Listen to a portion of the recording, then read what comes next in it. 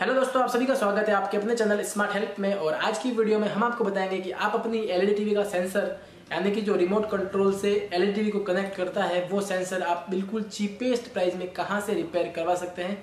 वैसे तो बहुत ही कम एलईडी के अंदर वो सेंसर खराब होता है, यानी कि सेंसर की प्रॉब्लम बहुत ही कम आती है।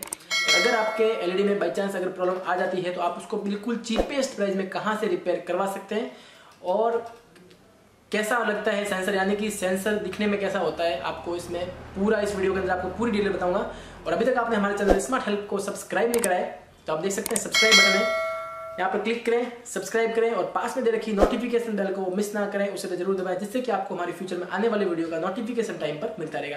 और आप हमारी वीडियो सबसे पहले देख सकते हैं। तो चलिए बिना टाइम वेस्ट किए वीडियो को शुरू करते हैं। तो आप यहाँ पर देख सकते हैं, मेरे पास ये है छोटी सी सर्किट प्लेट जो कि एलईडी से मैंने निकाली थी। आपके लिए स्पेशली इस वीडियो को बनाने के लिए। और अब मैं आपको बताता हूँ कि कौन सा सेंसर है और आप उसे सबसे चीपेस्ट प्राइस में कैसे रिपेयर कर सकते हैं या फिर करवा सकते हैं। आप देख सकते हैं, यहाँ पर ये छोटी सी ब्लैक कलर का आपको यहाँ पर एक पॉइंट दिख रहा होगा। छोटा सा सर्किट है यहाँ पर लगा हुआ। और पीछे की तरफ़ इसमें तीन पॉइंट दे रखे हैं, जहाँ पर इसको सोल्डिंग किया हुआ है। यहाँ से आप इसको निकाल सकते हैं और खुद यहाँ पर सोल्ड कर सकते हैं।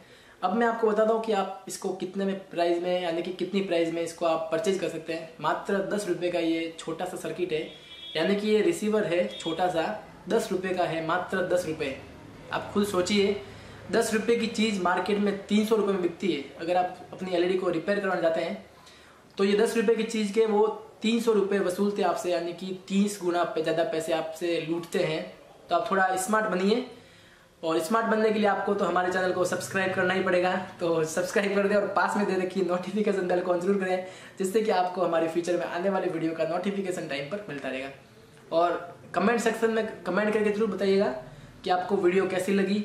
और अगर वीडियो बुरी लगती है तो डिसलाइक करें, अच्छी लगती है तो लाइक करें और ज़्यादा से ज़्यादा शेयर करें। अगर आपको लाइक करना है तो करें। अगर चैनल को सब्सक्राइब करना है तो करें, नहीं तो आप इस वीडियो को ज़्यादा से ज़्यादा शेयर करें, जिससे कि लोगों को बेनिफिट मिल सके और थोड़े लूटने से थोड़े लोग बच सके, यानी कि लोग थोड़े कम लूटें इस वीडियो को देखने के बाद, कि लोगों को आइडिया नहीं है, कोई अंदाज़ा नहीं है कि मार्केट में ये सॉकेट यानी कि छोटी सी सर्किट आपको किस प्राइस में मिलती है रिसीवर किस प्राइस में मिलता है और लोगों को कैसे लूटा जाता है मार्केट में।